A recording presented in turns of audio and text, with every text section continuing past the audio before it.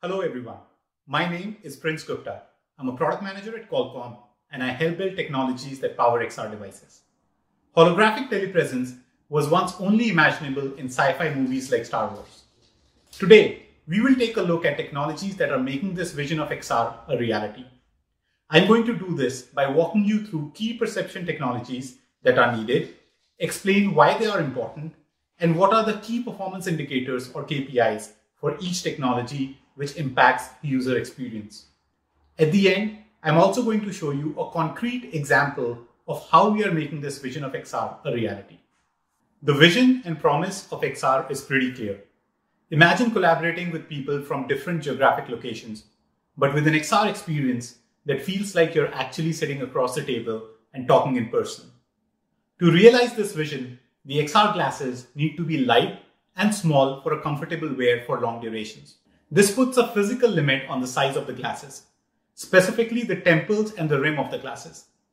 Given this constraint, if we calculate the total surface area of the glasses and the amount of heat that can be dissipated from that surface area, we get a limit of about 1 watt of power that can be dissipated from these glasses.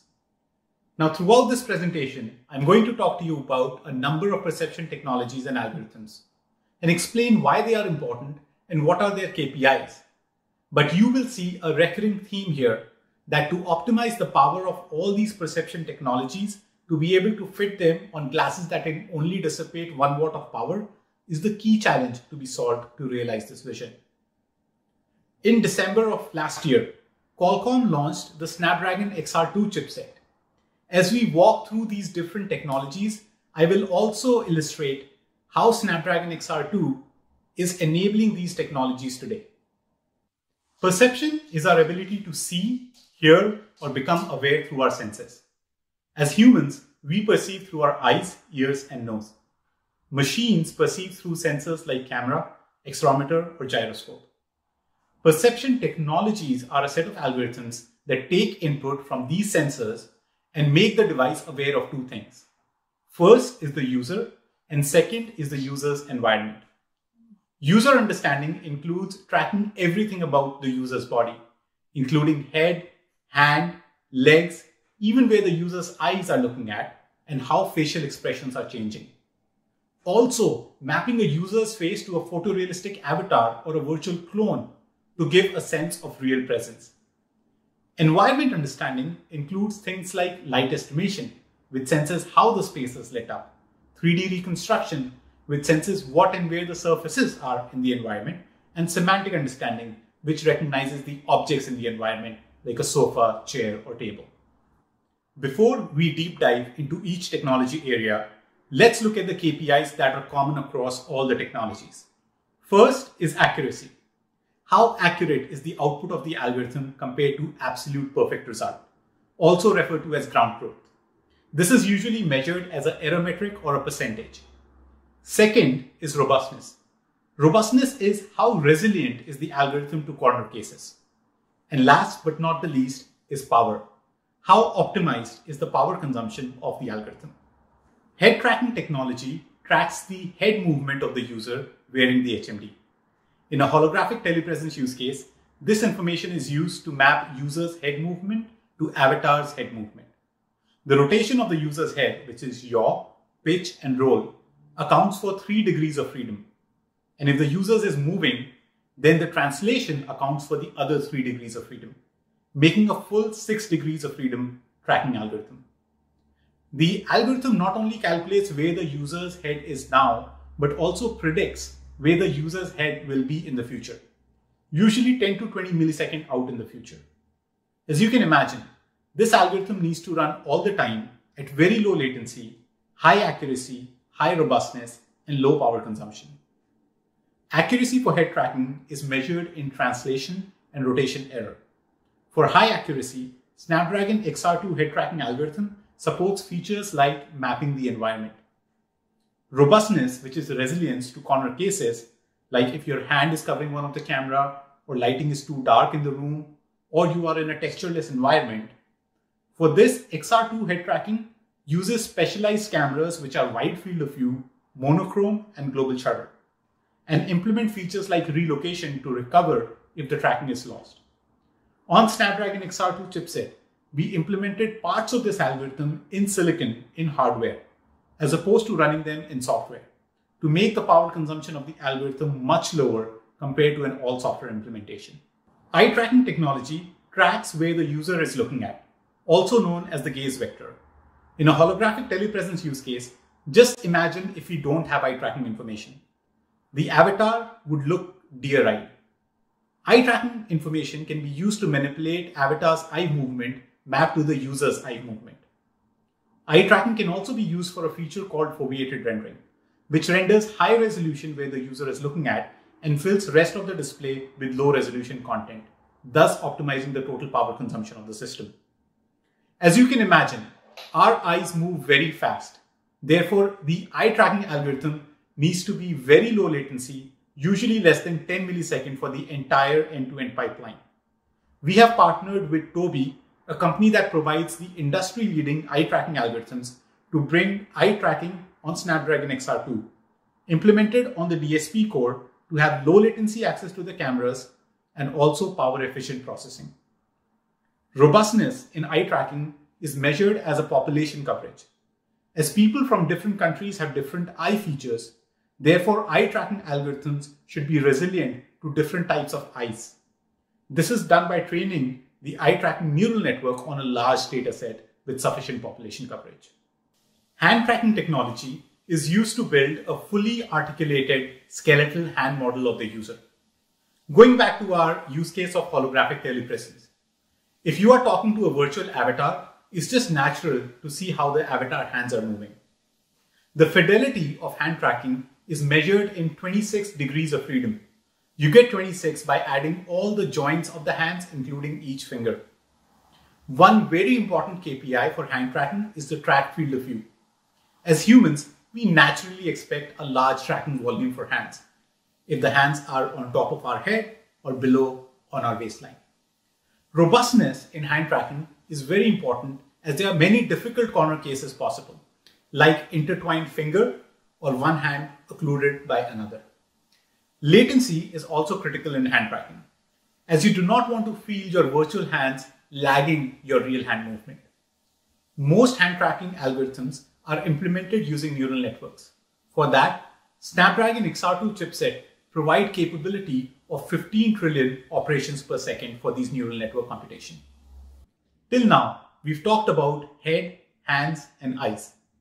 This makes up the kind of avatars you must already be familiar with in AR and VR systems today. Now let me talk to you about some future technologies which will be needed to take the realism of the avatars to the next level. To realize this future vision of holographic telepresence, we also need body tracking, facial tracking, and photorealistic avatars. And the same principles of accuracy, robustness, and power apply to these as well. Body tracking needs to accurately map all movement of the body. Facial tracking needs to pick up micro expressions of the face to be able to relay not just messages but also emotions. And finally, texture of the face needs to be mapped to the avatar to create photorealistic avatars.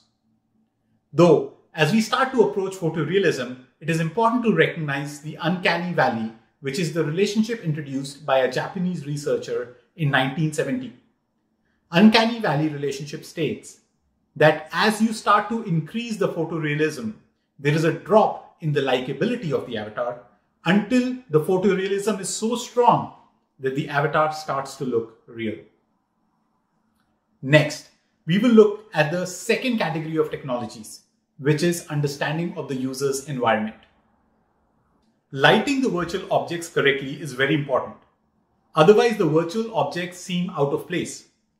For example, here, you can easily tell that the cup looks artificial and seems pasted in. Whereas if you account correctly for the environment lighting like this, the virtual content blends with the real world. And humans are very good at sensing this difference. There are four key things to look for when determining whether the lighting is correct or not. First is specular highlights. Specular highlights are the shiny bits of surfaces like the rim of the cup here. Second is shadows. Shadows determine the direction of light in the scene. Third is shading. shading is how the light is changing on the surface of the object. And fourth is reflections, which is reflections of other objects in the scene. 3D reconstruction technology gives the device information about surfaces in the room, like horizontal planes, vertical planes, or curved surfaces. This information can be used to augment objects in the room which are lashed onto those surfaces or occluded by those surfaces. And the same principles of accuracy, robustness, and power apply here too. The reconstruction needs to be accurate. So if the virtual object is occluded by a physical object, then the edge of the occlusions should not have any errors. The reconstruction needs to be robust to different types of materials, lighting conditions, and changes in the room. All this heavy processing needs to be done power efficiently. Therefore, in Snapdragon XR2, we support hardware accelerated depth from stereo algorithm, which is used as an input to 3D reconstruction. 3D reconstructions gives us information about the surfaces of the objects, whereas semantic understanding tells us what those objects are. It can tell whether what you're looking at is a table or a chair or couch, etc. Why this is important is because now you can really start to have meaningful augmentations in the environment. If the system is putting up an augmented painting, for example, it will know automatically that it makes sense to do that on the wall rather than on the table, for example. In our original holographic telepresence use case, it makes sense to have a virtual object be augmented on a table rather than hanging off the side of the table. So that summarizes all the perception technologies that are needed to get both understanding of the user and understanding of the user's environment. Now, let's take a look at how the brain of the device or the Snapdragon chipset processes information for all these perception technologies. Snapdragon XR2 is purpose-built silicon for XR. It is the world's first XR platform that supports 5G for high speed and low latency connectivity.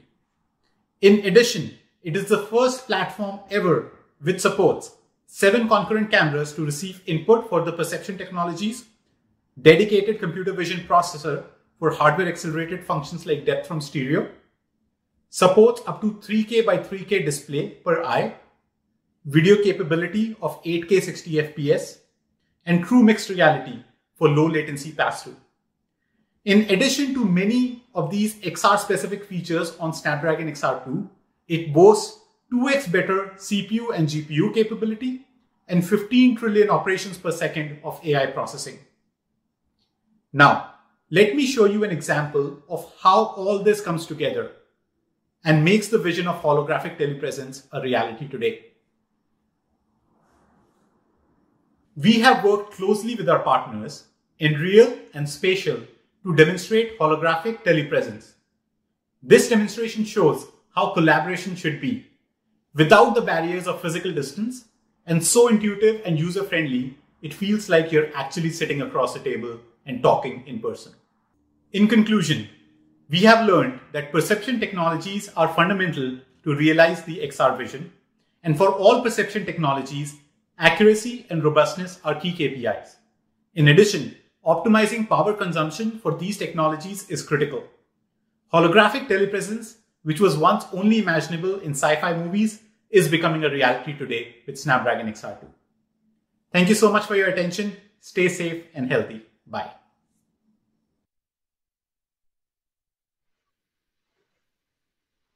All right. Uh, we are sitting here with Prince Gupta, who just gave us a really great presentation on uh, all these new advancements in, in photorealism and, and, and how um, the, uh, the interaction and the interactivity of XR is going to evolve. Um, Prince, thank you so much for, for that presentation. Thank you, Josh. Yeah, it's uh, awesome to be joining the AWE community uh, live here. Yeah. Um, so jumping right in, there's a, a, question in the chat room that I thought uh, was really great. Um, the question is, will the need to support XR content and interactivity create a need for a different or higher level of attention to indoor lighting sources and quality? Um, this gets to um, uh, all of the all of the things that like ray tracing and, and, the, and the, indoor lighting um, uh, that, that are that are going on there. What, what do you think about that? Yeah, you know, light estimation, as we talked about in the presentation, is uh, very important whenever augmenting the real world with virtual content. uh, the virtual content needs to blend in uh, to the real world. And the key aspect of environment understanding, you know, more than 3D reconstruction, uh, understanding what are the objects in the room, is also how the lighting of the room uh, is uh, is established. And you know, we saw some early versions of it in uh, smartphone AR space with ARCore, AR Kit came out with their light estimation and we'll see that uh, even uh, you know carried forward to AR uh, viewers or you know viewers which are now connected to smartphones. Nice. Um, I'm curious uh, about how you think some of these advancements will impact adoption. Um, do you think that photorealism and uh, and all the things that you talked about, do you think those will become marketing points for hardware and um, ecosystem uh, developers and adopters. Um, basically, do you think that people are holding off on on um, on really uh, creating this mass market adoption um, because of the of the realism? And do you think that if people knew that the experience was more real, that they would be more interested in adopting? Mm, that's a great question, uh, Josh. I think uh, you know XR needs to go through this uh, you know crawl, walk, run uh, stages, right? as as we scale the adoption, uh, first and foremost, you know, before even we come to realism, is whether the use case is providing value to the user. Uh, so we have to really establish that that point and, and establish a value to the user. Once the user sees value in these use cases, and I firmly believe that that users will, uh, especially as our communication changes uh, over the years. You know, earlier everybody used to just communicate through call and text, right? And then came pictures and videos. And, you know, slowly these transformations, I mean, today, who would have imagined that we'd be doing AWE conference uh, just over, uh, you know, all online, right? Uh, these things will change. Uh, it's a, it's not, you know, it's a matter of when they will change. So the adoption will happen. So we have to be prepared in terms of developing these technologies, creating these form factors, which will actually enable these these experiences. So the first thing will be establishing the value for the user. And once the value for the user is established for the particular use cases, then uh, more technologies like you know facial uh, avatars, uh, something which is more photorealistic, will, will be needed. That's great. Um, we're uh, in our last minute here. Uh, there's some other questions in the chat room uh, that hopefully you have a chance to go in there and, and have a conversation with those attendees. Um, but if folks want to get a hold of you outside of this, if they have additional questions, um, what's the best way for them to get a hold of you? Uh, uh, social media or email or things like that? Yeah, absolutely. Uh, I am on LinkedIn, uh, so I think folks can find me on LinkedIn, uh, and uh, you know, otherwise, you know, happy to share official emails as well. That's great. Well, thanks for joining us here at AWE Online 2020. Uh, that was a fascinating presentation. Really cool to talk to you today. Thanks a lot. Thank you.